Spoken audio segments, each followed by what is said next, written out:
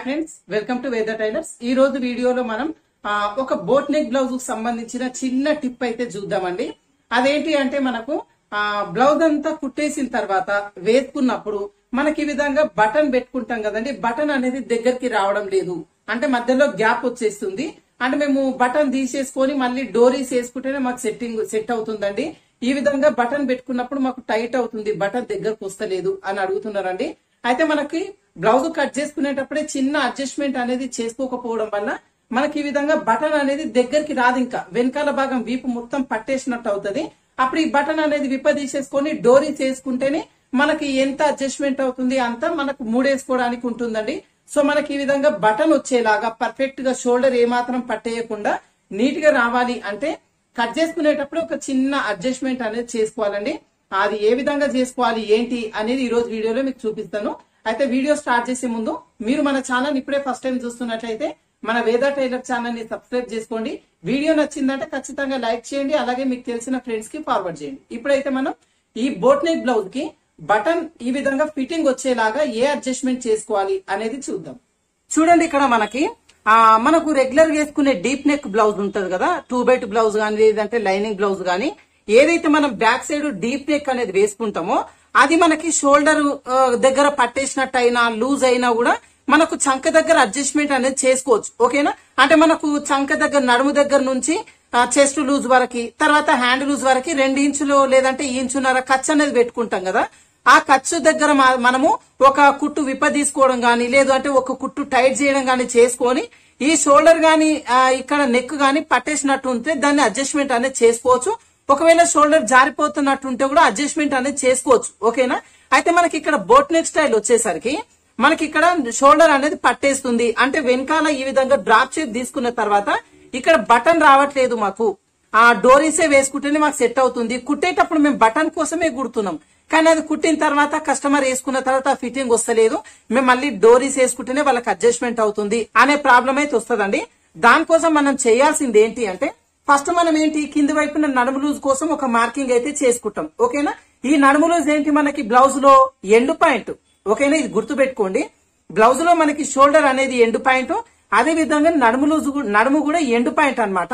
ఇప్పుడు మనం నడుము లూజ్ అనేది పర్ఫెక్ట్గా తీసుకున్నాము అంటే ఈ నడుము లూజ్ని బేస్ చేసుకొని మొత్తం బ్లౌజ్ మొత్తం ఈజీగా కట్ చేసుకోవచ్చు.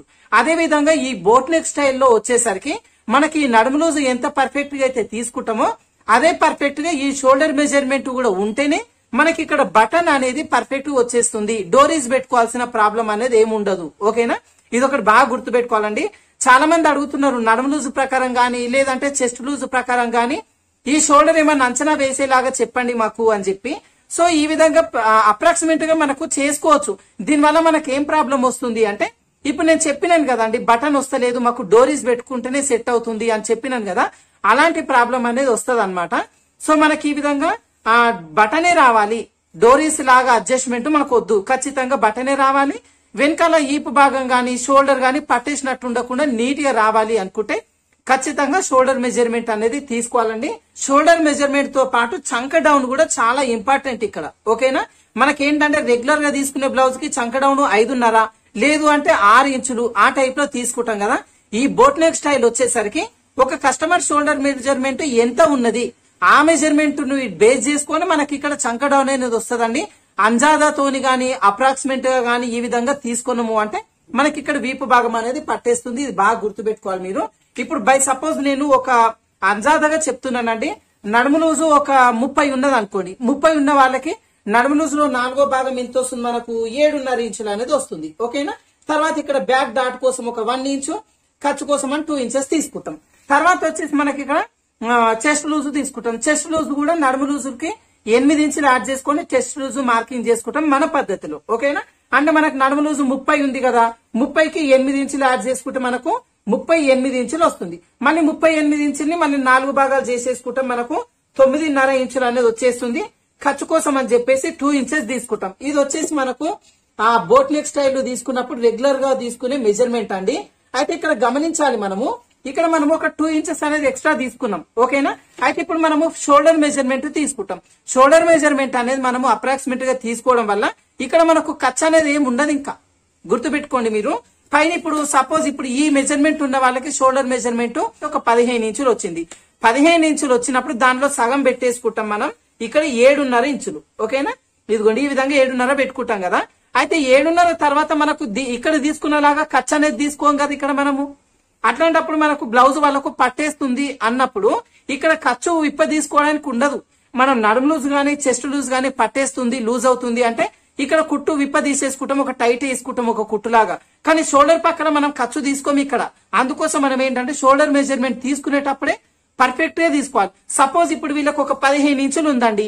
పదిహేను ఇంచులు మనకు తీసుకోనికే రాక ఒక పద్నాలుగే అనుకున్నాం అనుకోండి. వీళ్ళకి మనకు తీసుకోనికే రాక పద్నాలుగు ఇంచులే ఉందేమో అనుకొని పద్నాలుగు ఇంచులకు మార్కింగ్ చేసుకుంటాం. అంటే డబుల్ ఫోల్డింగ్ మీద ఏడు ఇంచులు అవుతుంది ఇక్కడ. ఓకేనా? అంటే ఎంత గ్యాప్ వచ్చింది మనకి ఇక్కడ? హాఫ్ ఇంచ్ గ్యాప్ వచ్చేసింది. అంటే ఈ హాఫ్ ఇంచ్ డబుల్ ఫోల్డింగ్ మీద వన్ ఇంచ్ గ్యాప్ వచ్చేస్తది. ఈ వన్ ఇంచ్ గ్యాప్ మనకి ఎక్కడ తేడా వచ్చేస్తది అంటే ఇక్కడ మనకు బటన్ ఉంటది కదా? బై సపోజ్ ఇప్పుడు ఇదిగోండి నేను బోట్ నెక్ స్టైల్ అంటే మనకి ఏ విధంగా ఉంటుంది? చిన్నగా ఇదిగోండి ఈ ప్రకారంగా ఉంటుంది. నేనేంటంటే మీకు ఒక అప్రాక్సిమేట్గా డ్రా చేసి చూపిస్తున్నాను ఈ విధంగా. తర్వాత ఇక్కడ నుంచి మనకు ఒక డ్రాప్ షేప్ గీసుకుంటాం. ఈ విధంగా మనకు వెనకాల డ్రాప్ షేప్ వచ్చేస్తుంది. ఇక్కడ మనకి ఏదైతే కార్నర్ వస్తుందో ఈ కార్నర్ దగ్గర ఈ వన్ ఇంచ్ గ్యాప్ అనేది వచ్చేస్తుంది. ఇక్కడ ఇంత వెడల్పు గ్యాప్ వచ్చేస్తుందండి. అక్కడ మనకు బటన్ పెట్టుకోవడానికి రాదు ఇంకా. ఖచ్చితంగా డోరీసే వేసుకోవాల్సి ఉంటది. అందుకోసం మీరు ఏం చేయాలంటే కస్టమర్ అయితే బ్లౌజ్ ఏనికి వస్తారు కదండి. బ్లౌజ్ ఏనికి వచ్చినప్పుడు ఒక నిమిషం ఉండండి మీరు బోట్ నెక్ స్టైల్ కదా మీకు షోల్డర్ మెజర్మెంట్ తీసుకుంటేనే ఫిట్టింగ్ వస్తది అని చెప్పి వాళ్ళ షోల్డర్ మెజర్మెంట్ అనేది తీసుకోండి మీరు. తీసుకుంటేనే మీకు బ్లౌజ్ అనేది ఫిట్టింగ్ బాగా వస్తుంది. మరి షోల్డర్ మెజర్మెంట్ మీరు అన్నలాగా ఇవన్నీ తేడా రాకుండా పర్ఫెక్ట్ ఎట్లా తీసుకోవాలండి? కస్టమర్ దగ్గర ఈ షోల్డర్ మెజర్మెంట్ ఏ విధంగా తీసుకోవాలి అని మీకు ఒకవేళ డౌట్ ఉంటే అది ఏ విధంగా తీసుకోవాలి బాడీ మెజర్మెంట్ అనేది మన దగ్గర వీడియో ఉందండి. వీడియో లింక్ నేను ఇక్కడ ఐకార్డ్లో కానీ లేదంటే ఆ డిస్క్రిప్షన్లో కానీ ఇస్తాను. మీరు ఒకసారి ఓపెన్ చేసి ఒక కస్టమర్ దగ్గర నుంచి షోల్డర్ మెజర్మెంట్ ఏ విధంగా తీసుకోవాలి ఏ విధంగా తీసుకుంటే మనకి ఇక్కడ బోట్ నెక్ స్టైల్ అనేది పర్ఫెక్ట్ వస్తుంది అనేది మీరు ఈజీగా ఫైండ్ అవుట్ చేసుకోగలుగుతారు. ఓకేనా? ఇప్పుడు చూడండి మనకి ఇక్కడ చంక షోల్డర్ ఎంత వచ్చింది ఏడున్నర వచ్చింది ఒరిజినల్ లూజు. ఇదే ఏడున్నర ఇంచులు అనేది మనం చంక డౌన్ కోసం పెట్టేసుకోవాలి. ఓకేనా? ఎందుకు అంటే మనకి ఇక్కడ చంక భాగం అనేది పట్టేయకుండా ఉండాలి తర్వాత లూజులు రాకుండా నీట్గా రావాలి అనుకుంటే ఈ షోల్డర్ మెజర్మెంట్ ఏదైతే సగం వచ్చిందో ఆ వచ్చిన సగానే మనం ఇక్కడ చంక డౌన్ అనేది తీసుకోవాలి. ఇదిగోండి ఇక్కడ మనకు ఏడున్నర వచ్చింది ఇదే ఏడున్నర ఇంచులు అనేది ఇదిగోండి మనకి ఇక్కడ చంక డౌన్ కోసం తీసుకోవాలి. ఓకేనా? ఒకవేళ మీ మిస్టేక్ వల్ల మీరు చేసే మిస్టేక్ వల్ల ఇక్కడ ఏడే వచ్చింది అనుకోండి మీరు ఏడే తీసుకున్నారు. ఇదే ఏడుని మనం చంకడం కోసం ఇక్కడ పెట్టేసుకున్నాం. మనకి ఇక్కడ ఒక హాఫ్ ఇంచ్ అనేది తగ్గిపోయింది ఇక్కడ. ఓకేనా? ఈ విధంగా తగ్గిపోవడం వల్ల మనకి ఏమవుతుంది అంటే వీళ్ళకి షోల్డర్ అనేది పట్టేస్తుంది. ఓకేనా? వెనకాల వీపు భాగం అనేది ఇక్కడ బటన్ రాకుండా డోరీస్ పెడితేనే సెట్ అవుతుంది ఇంకా వాళ్ళకి. మనం బటన్ పెడితే సెట్ కాదు పట్టేసినట్టుగా అయిపోతుంది. అందుకోసం నేను ప్రతిసారి కూడా చెప్తానండి మనకి మోడల్ బ్లౌజెస్ అంటే డిజైనర్ బ్లౌజెస్ ఏవి స్టిచ్ చేయాలన్నా కూడా ఈ బోట్ నెక్ ఈ షోల్డర్ పైననే ఆధారపడి ఉంటదండి. మళ్ళీ కూడా చెప్తున్నాను ఈ షోల్డర్ దగ్గర ఖర్చు ఉంచుకోం మనం. జస్ట్ ఏంటంటే షోల్డర్ హ్యాండ్ జాయింటింగ్ కోసం ఒక హాఫ్ ఇంచ్ ఉంచుతాం అది ఖర్చులోకి వెళ్ళిపోతుంది. ఇక్కడ మనం నడుము దగ్గర తీసుకున్నలాగా రెండించుల ఖర్చులాగా ఇక్కడ ఖర్చు తీసుకోం కాబట్టి మనం అడ్జస్ట్మెంట్ చేయడానికి రాదు. కుట్టిన బ్లౌజ్ మాత్రం ఈ విధంగా గ్యాప్ వస్తుంది అంటే మీరు ఖచ్చితంగా డోరీసే వేసుకొని అడ్జస్ట్మెంట్ అనేది చేయండి. ఒకవేళ కుట్టక ముందే మీరు ఈ విధంగా బటనే రావాలి మాకు డోరీస్ అడ్జస్ట్మెంట్ వద్దు అనుకునే వాళ్ళు మాత్రం ఖచ్చితంగా షోల్డర్ మెజర్మెంట్ తీసుకొని ఈ ప్రకారంగానే మీరు కట్ చేయండి. ఖచ్చితంగా మీకు ఇక్కడ డోరీస్ అనేది రాకుండా బటన్ అనేది పెట్టేసుకోవచ్చు. బ్లౌజ్ కూడా వీపు భాగం ఫిట్టింగ్ అనేది పర్ఫెక్ట్గా ఉంటుంది. ఓకేనా? ఇక్కడ మనకి బటన్ రావాలి అంటే ఈ చిన్న అడ్జస్ట్మెంట్ జస్ట్ చిన్న పొరపాటు మాత్రమే.